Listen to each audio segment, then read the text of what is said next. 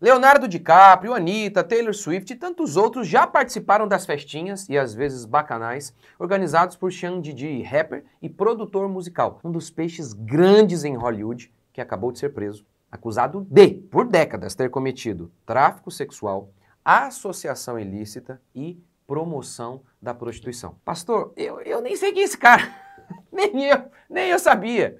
Eu mesmo nunca tinha ouvido falar sobre ele, mas ele nos afeta. Como que esse cara tem tudo a ver com o nosso país aqui, com, com as pessoas? Como que Hollywood tem tudo a ver?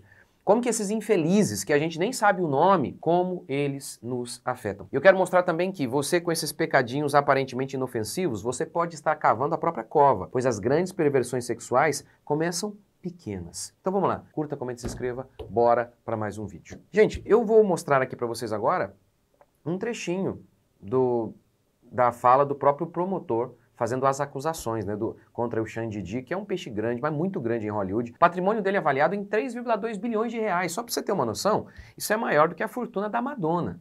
Então vamos lá, vamos ver aqui. Combs abused and exploited women. Combs, né? Jean Didi Combs, né? O nome do, do infeliz aí. And other people for years, and in a variety of ways. As alleged, Combs used force, threats of force, and coercion to cause victims to engage in extended sexual performances with male commercial sex workers, some of whom he transported or caused to be transported over state lines. Combs allegedly planned and controlled the sex performances, which he called freak offs, and he often electronically recorded them. The freak offs sometimes lasted. É, esses freak-offs, aí é, eu estava lendo na matéria da Gazeta do Povo, falando que é o nome que ele dava a esses eventos, a esses momentos, a, a essas festas. E tá vendo ali, ele registrava, ou seja, ele filmava, negócio doido. Days at a time, involved multiple commercial sex workers, and often involved a variety of narcotics, such as ketamine, ecstasy, and GHB, which Combs distributed to the victims to keep them obedient and compliant. As alleged, when Combs didn't get his way, he was violent, and he subjected victims to physical, emotional, and verbal abuse so that they would participate in the freak offs. And that Combs hit, kicked, threw objects at, and dragged victims, at times by their hair. Esse é o depoimento de Damian Williams. É, meu gente, meu povo, o negócio não é mole, não, né? O negócio não é mole, não. Essa outra, esse trechinho aqui da matéria da Gazeta do Povo dá uma resumida também. Até a sua prisão, no último dia 16, revelou um fato perturbador. Segundo várias testemunhas, Combs é o principal facilitador de uma vasta rede de tráfico humano, dedicada a fornecer homens e mulheres, maiores ou menores de idade, para orgias secretas frequentadas por figuras da elite hollywoodiana. É, é, um negócio doido, né? De acordo com a promotoria de Nova York, onde diz segue detido, o, rapper cometeu durante décadas isso aí, né? Os crimes de tráfico sexual, enfim, um negócio assim absurdo. Outro detalhe, né? É uma suposta coleção de vídeos, como ele, ele falou ali, o promotor falou. Ele filmava, registrava os bacanais. Por quê? Para jamais ser delatado por quem participava das festas. É o famoso rabo preso. Eu não posso contar sobre você porque você vai contar sobre mim. Então eu não conto sobre você e você não conta sobre mim. Note isso aqui então, a promotoria ela fala em bacanais. O nome da festa, intitulada por ele mesmo ali, dos eventos, é Freak Offs, selvagem, significa isso, selvagem. Nem todas as festas eram assim, freaks offs, uh, freak offs, uh, selvagens. Mas muitas eram. E olha que coisa interessante. Muita gente participou dessas festas. Nem todas selvagens, mas, mas participaram. No mínimo, no mínimo, para dizer no mínimo. Essa galerinha aí, ó, o povinho Smile, no mínimo, eles conheciam a má fama do anfitrião e mesmo assim participaram. Quem? Quem participou? Leonardo DiCaprio, um, Aston Kutcher, uh, o casal Beyoncé, a Taylor Swift, Mariah, Mariah Carey, as irmãs Kardashian e a Anitta. A gente sabe que a Anitta participou aqui, ó. Vou mostrar para vocês aqui, ó. Olha isso aqui, ó. É um negócio assustador, meu povo.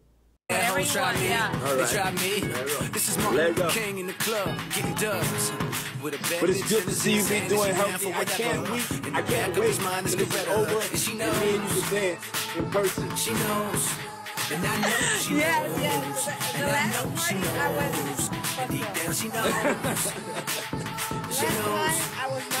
Yeah, yeah, we, we, we, we not going.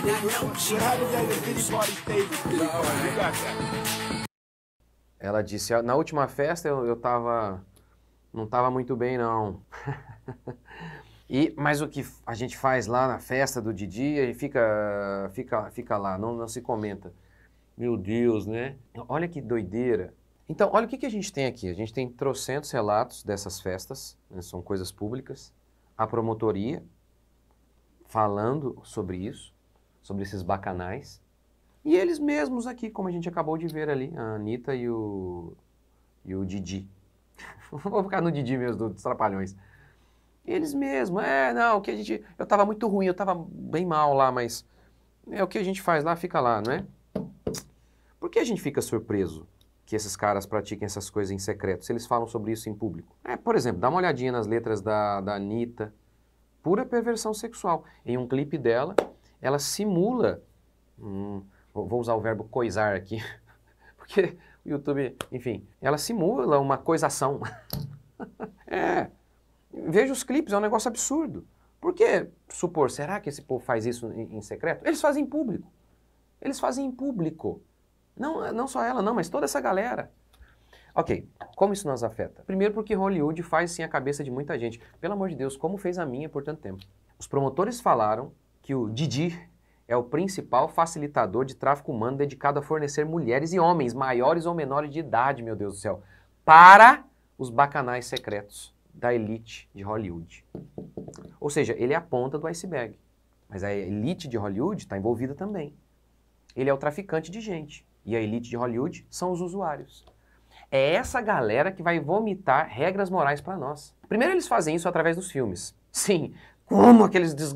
ah, aquelas desgramas daqueles filmes. Como que, que eles moldam a mente humana?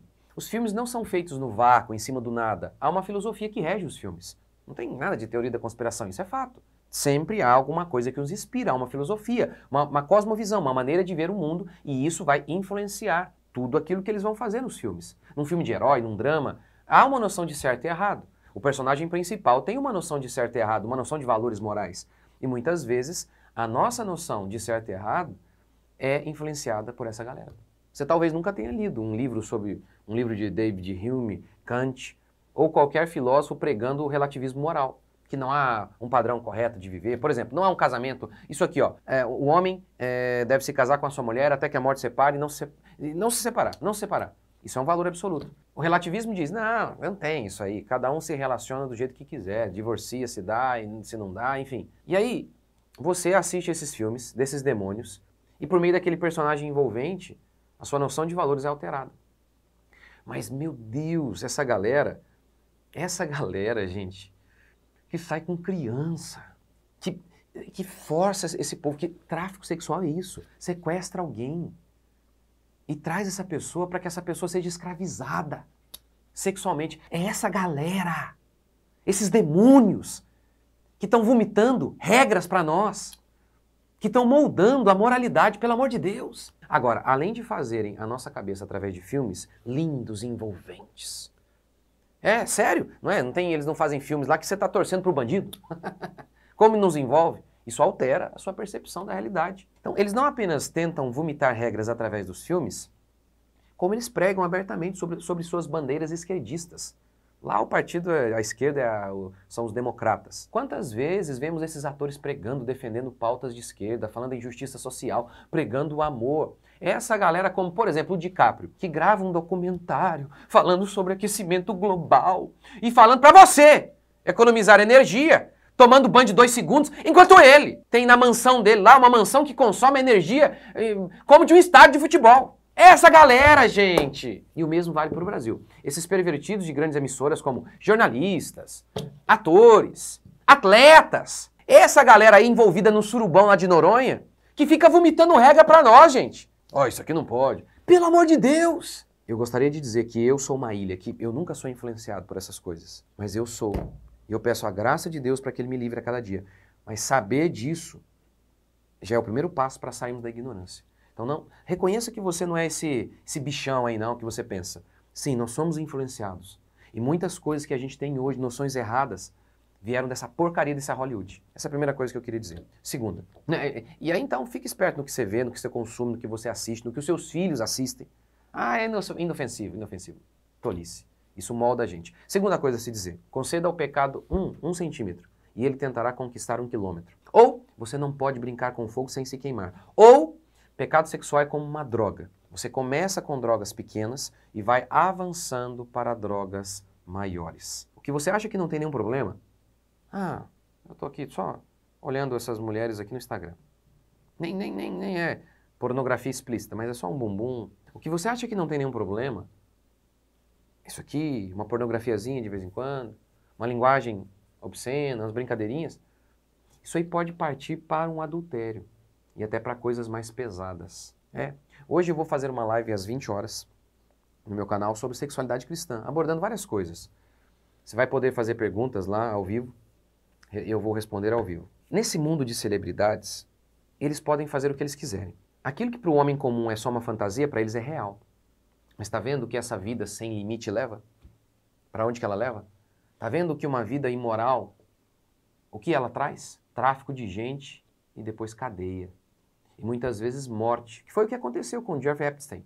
Lembra dele? Outro magnata envolvido com as mesmas coisas, que foi morto na prisão. Tudo indica queima de arquivo. Mas o pior de tudo é, os pervertidos sexualmente, eles não farão parte do reino de Deus, diz a Escritura. Eles não têm parte. Por isso a gente precisa sim saber que as pequenas coisinhas, os pequenos pecadinhos, eles vão entrando e arruinando as nossas vidas. Como que a perversão sexual é uma desgraça? Quando a gente vê um negócio desse, você fala, meu Deus, que coisa absurda! Meu Deus! Meu Deus! Mas eu vou falar um pouquinho disso hoje na live. Como que a pornografia, ficar olhando essas coisinhas, como que isso pode sim levar a coisas mais terríveis como um adultério e até coisas pesadas como tráfico sexual, prostituição, em, em relação a qualquer um, gente. Basta lembrar de Davi. Basta lembrar de Davi. É o homem segundo o coração de Deus e veja o que ele fez. Então é sério sim a questão do pecado, o pecado sexual. E a gente vai falar um pouco mais sobre isso hoje na minha live às 20 horas. Vamos lá. Então curta, comente, se inscreva este vídeo, deixe o seu like aí, deixe uma mensagem, deixe um comentário e te espero lá às 20 horas hoje no meu canal no YouTube Live sobre sexualidade cristã. Vamos responder o que a gente conseguir responder ali, tá bom? É isso aí. Deus abençoe. Até a próxima.